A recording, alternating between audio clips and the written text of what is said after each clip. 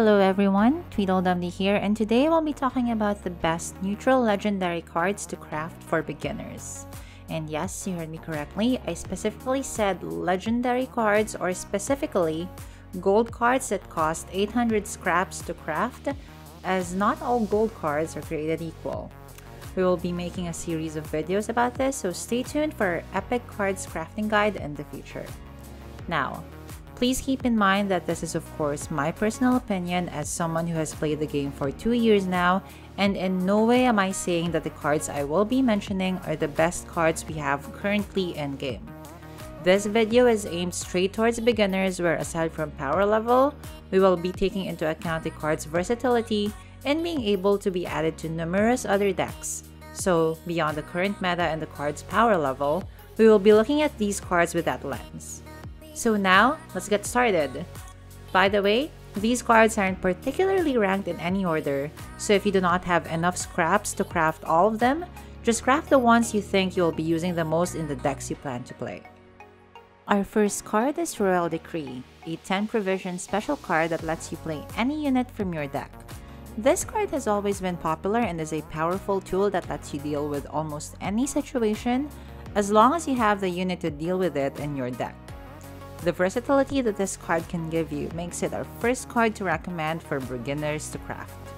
Next up is Muzzle, or as it is labeled in the deck builder, Vigo's Muzzle.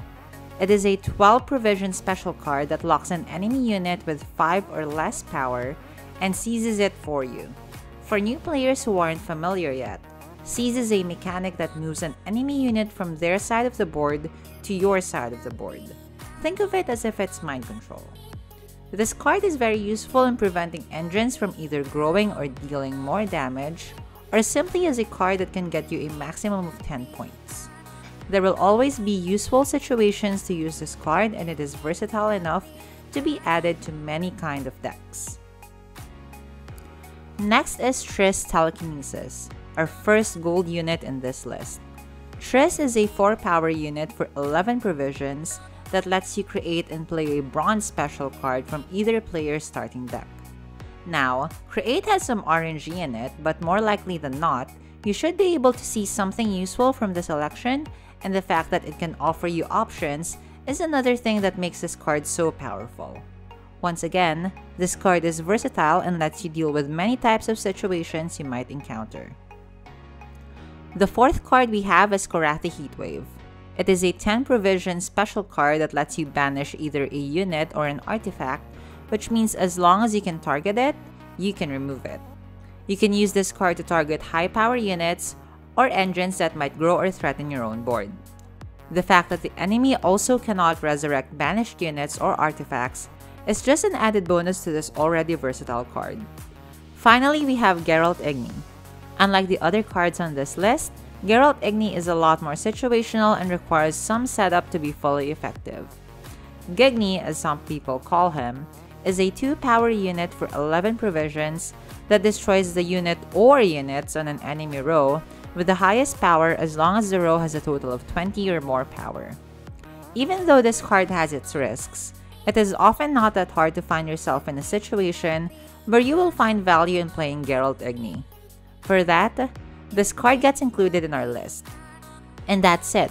Our top 5 neutral legendary cards that I recommend beginners to craft first. Honorable mentions include Renew, Lambert Swordmaster, Land of a Thousand Fables, Dandelion Poet, Shupe's Day Off, and Geralt Professional.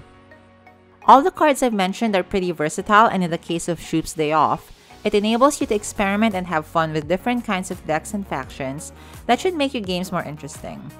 So, what do you guys think? Do you have other neutral legendary cards that you think should have made the list? Let me know in the comments below. Also, please leave a like if you like this video and if you want to see more, consider clicking on the subscribe button. Thank you so much for watching and I hope you guys have a nice day. Bye!